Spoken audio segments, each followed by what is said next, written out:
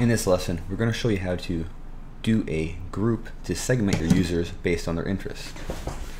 Go ahead and go back to the Manage Subscribers section, hover over Groups and click it. Click on Create Groups in the top right, and then I recommend using either the checkbox or the radio button. If you're low on space on your website and you want things to be small and clean, then click on the drop down. Now, use a group detail that's going to signify what this list is going to be split into.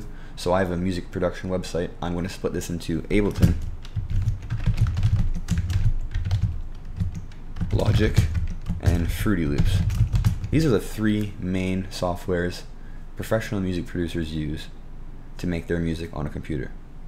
So I might want to send out some specific things about these softwares and I don't want someone who uses Logic getting my emails about Fruity Loops or Ableton because they might get annoyed and unsubscribe. It's just not relevant to them.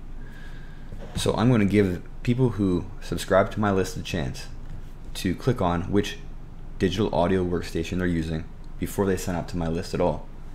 From that point forward, I could target them individually through the back end of MailChimp.